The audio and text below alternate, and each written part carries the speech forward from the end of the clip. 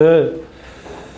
어, 다시 이제 시작을 하는 건데, 이제 62회를 달려가지고, 62회를 향해서, 이제 민사소법 처음부터, 이제 이거는 그 동차반, 처음에 이제 기본 강의 하고 나서 숨가쁘게 막 그 2월 말에 3월 초에 보통 이제 2월 한 20, 7, 8일 경우 시작해가지고 한 네 달 만에 시험을 보는 이런 분, 분 그렇게 해서 동차반에 주로 이제 준비를 해오는 건데, 이제 그렇게 준비하는 거하고 이제 그게 한번 지나고 나서 다시 또 이제 그 이른바 기득이라 그래가지고 어 처음부터 준비하는 건 전혀 다른 문제입니다.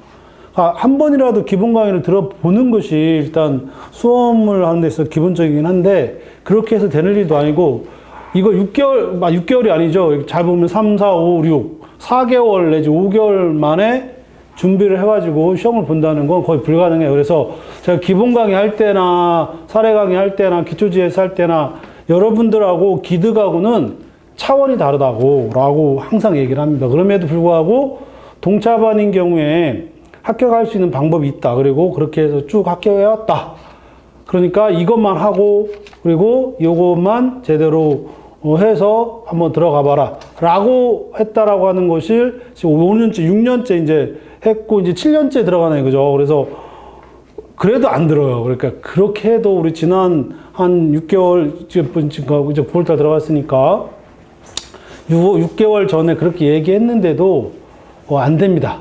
아, 그렇지만 이제 기득에 들어오게 되면 기득은 전혀 다른 차원의 문제가 되고 일단 돌아가는 걸 알아요. 그리고 어떻게 해야 되는지를 알고. 근데 그렇다고 해서 기득이 꼭 합격하느냐 그런 건 아니고요. 기득이 했다고 해가지고 민사소법을 다 이해하느냐 그런 것도 아니고. 그러니까 완벽하게 자기 걸로 만드는 과정이 반드시 필요하다. 지금 어 제가 이 강의를 통해서 여러분한테 하려고 하는 건 딱 하나입니다. 동차반하고 기득은 차원이 다르고 기득은 민사소송법이 어떤 곳이다라고 자기 걸로 만들 수 있는 유일한 어떤 기회가 주어져요. 그게 이번에 이제 보통 9월, 10월, 11월까지.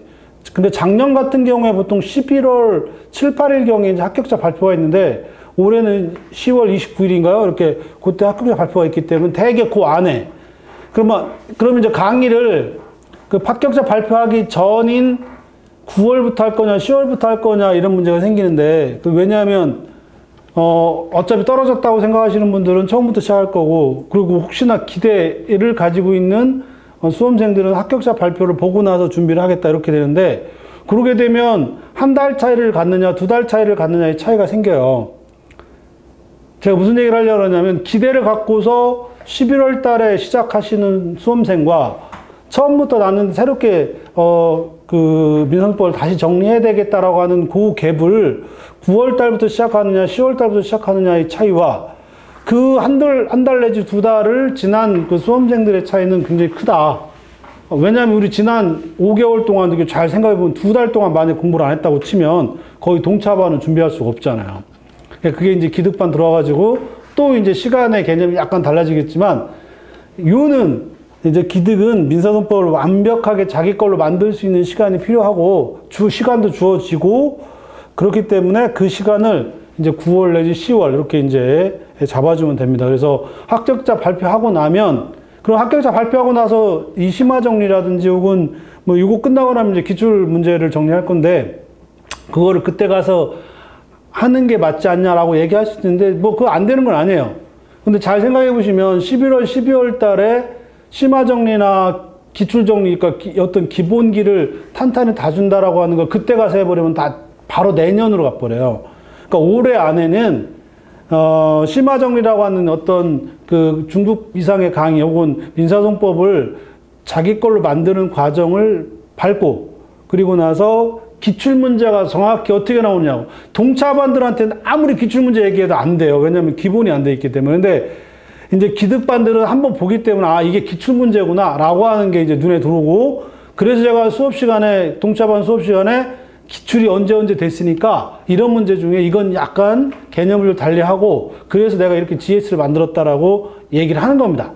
근데 기득반들한테 그런 문제가 필요가 없는데 동차반들한테는 근데 그게 이제 기출 문제를 한 번도 안 풀어본 상태에서 그런 얘기를 하면 체감이 안, 안 와닿는데 이제 여러분들은 이제 기, 기출 문제까지 풀어보면 아 어떻게 어떤 문제들이 나오겠구나라고 하는 것까지 이제 에, 어느 정도 이제 그 뭐라 그럴까 감이라고 할까요? 뭐 그런 것들이 생길 수 있습니다. 그래서 지금 우리가 강의를 할 때 지금 9월 9월부터는 이제 심화 정리라고 해서 앞으로 이제 이 시간부터 할 거고요. 근데 10월에 원래 이제 기출 문제를 정리할 겁니다. 기출 100제로 들어갈 건데 기출 100제를 하면서 이제 내년에 어떤 문제가 나올 수 어떤 방향으로 공부할 건지까지 이제 한번 준비를 해볼 겁니다. 근데 요게 원래는 작년 같은 경우에 심화 정리 기출 한꺼번에 들어갔었어요. 그런데 올해 같은 경우에 제가 커리큘럼을 짜다 보니까 심화 정리에 대한 이론과 판례 문제하고 그 다음에 기출 문제는 다른 문제로 파악하는 게 또 맞는 것 같아요. 어차피 그, 그 두 달 과정 어떻게 할 거냐의 문제가 생겨가지고 그렇게 해서 9월 달에는 심화 정리, 10월 달에는 기출 백제를 통해서 예상 문제까지 한번 뽑아보자. 그러니까 예상 문제까지 뽑아보면 앞으로 남은 11월, 12월부터 해가지고 기초 GS라든지 이제 기득을 위한 기초 GS, 그 다음에 A형, B형 이렇게 됩니다. 그래서 심화 정리, 기출백, 그 다음에 기초 GS. 이 기초 GS는 완전히 동차반 기초 GS하고는 완전히 달라요. 동차반 기초 GS는 자체로 중요하긴 한데 이게 차원이 다른 문제가 기득 기초 GS하고는 전혀 다른 문제가 됩니다. 그래서 이 동차반이 아니고 기득 위한 기초 GS가 또 있어요. 그러니까 여기서 예상 문제 뽑아가지고 이제 여기에서 계속 가기 시작합니다. 그 다음에 나머지 이제 요게 11월 내지 12월에 이렇게 끝나요. 그리고 나서 이제 내년 이제 커리큘럼 들어가면 A형으로 해서 진도별 진도별 기초 GS 그 실전 GS를 할 거고요. 그 다음에 B형을 합니다. 이제 진도별은 보통 1월에서 3월 그 사이 할 겁니다. 1월에서 3월 그 사이 할 건데 두 번을 할지 한 번 할 건지 모르지만 이렇게 하고 그 다음에 B형은 4월부터 해가지고 4, 5 이런 정도 해가지고 그러니까 이런 정도만 잡아주시면 올해도 이제 그 기득 제가 수험생들한테 말씀드렸는데 요 안에서 제가 동차반 이제 여러분 지금 저 공부하니까 동차반들한테 제가 뭐라 하냐면 우리가 한 우리가 한 그, 그 제가 똑같이 얘기했었는데 우리가 하고 있는 사례 그다음에 기초 GS 동차반 실전 GS 안에서 그러면 보통 한 120문제 정도가 되는데 그 120문제 안에서 한 7, 80%가 나올 거다 제가 그렇게 얘기하고 기득한테는 그게 좀 B형까지 들어가니까 또 이제 그 최신 판례까지 들어가니까 한 8, 90%는 그 안에 들어갈 것이다. 그리고 이렇게 얘기합니다. 그래서 보통 동차 반은 확률적으로 60, 70% 이상은 맞출 거고, 그 다음에 기득은 한 7, 80%에서 90%까지 내가 맞출 거예요. 라고 이렇게 말씀드리는 이유가, 그러니까 그렇게 해왔었고, 올해 여러분들 저하고 같이 공부하신 분들이 있으니까, 종합반들도 있고, 이따가 또 한번 잠깐 살펴보겠지만, 제가 얘기하잖아요. 요걸 벗어나면 제가 때려치겠다고. 지금 이걸 지금 6년째 하고 6년째.